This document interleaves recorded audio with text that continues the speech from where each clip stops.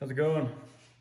I'm gonna talk a little bit about you know, what I do to set set up the grinder here. Um, not gonna be like a how-to or a full in-depth, just a little bit of, on the dressers and how I set up the tooth to get a good grind. So you got your uh, dressers here, you know, that dress the wheel, and I like to see what angle these are at. Um, you know, you could get a a digital angle finder.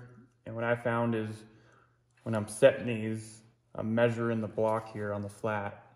You can do, you know, anywhere you want that's flat that indexes in the line of the um, dresser here. I try to measure it in the same spot. So I'll raise it up all the way until it bottoms out. So I measure it at the same spot every time and I hold it up here I'm running about 16 and a half degrees. It's good. You know, I'll zero this right here on the bench on the same spot every time. You know, make sure it's zeroed. I'll check the angle.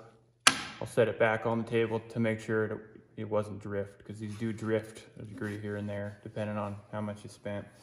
Same thing um, with the side plate dresser. I'll lift it all the way up till it bottoms out. And I'll take a reading off the bottom flat here. 25 and a half. And I'll put it back on my bench. Zero, zero. I'll recheck it. 25.5. So that's that. So I kind of dial in my stone once, you know, and I write those numbers down.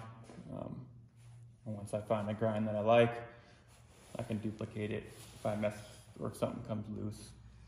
Um, and I do use the stops here. I threw a wing nut on them so I can set them so each tooth is grinding the same. Um, I'll, I'll dry fit the tooth so it's the corner's pretty dang close. Um,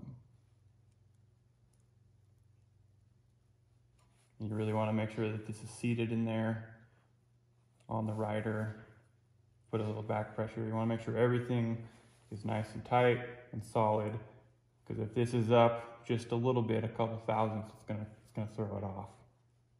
So I'll just grind this tooth here.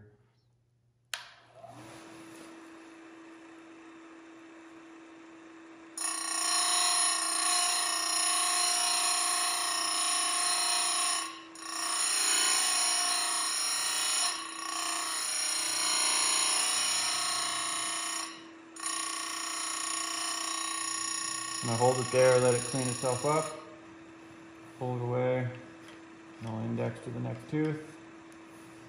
Make sure everything's tight, seated in there, good to go. And I don't tap the tooth, I just do a nice steady pressure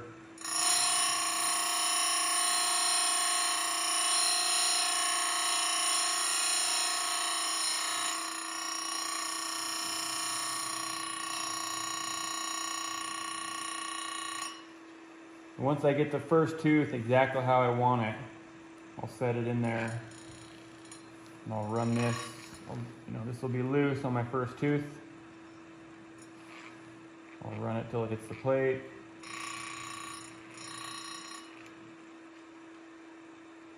Tighten my wing nut. And I'm good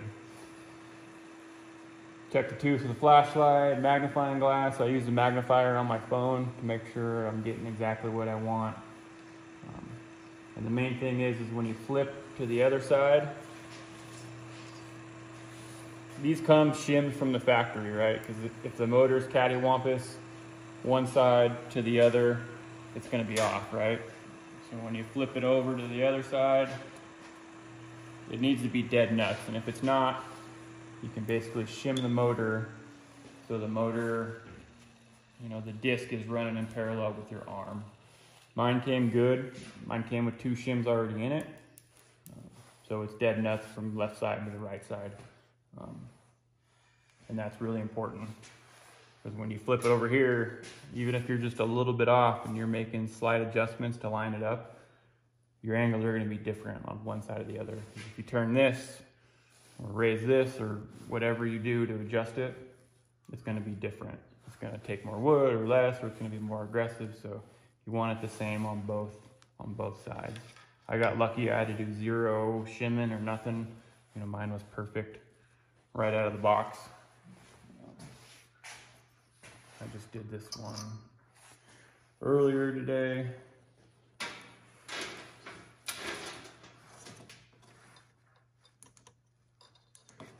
Turn my light on here.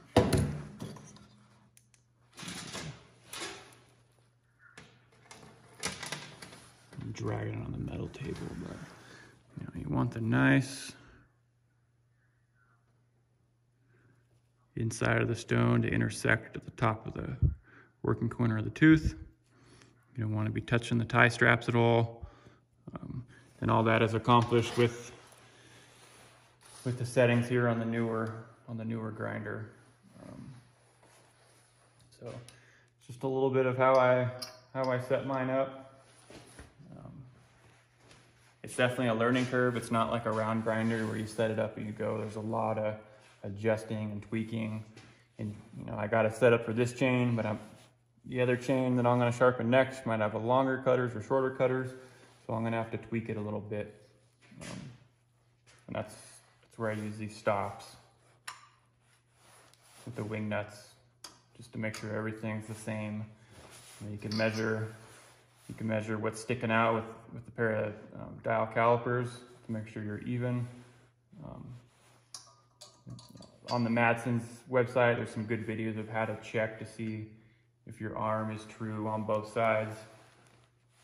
There's a little test you can do to see what side you need to shim, and, and you're only shimming a couple thousandths at a time because there's four bolts, so you need to do it's kind of trial and error. Um, but yeah. I'll be running some tests with some really good square ground chain and the, and the hexa chain. I'll be cutting some timber here pretty soon and seeing how they pull and how they feed and, and how long they last. Because um, that's the tricky part is for a good work chain, you want something super sharp, but if you go too sharp, then it's gonna dull really fast. So you gotta find the happy medium of a good sharp chain that's gonna be reliable. So you're not going through three or four chains in a day. So if you got any questions, uh, leave a comment. And uh, I can do in-depth more videos if you guys find it interesting or if I didn't answer a question. But uh, yeah, thanks for watching.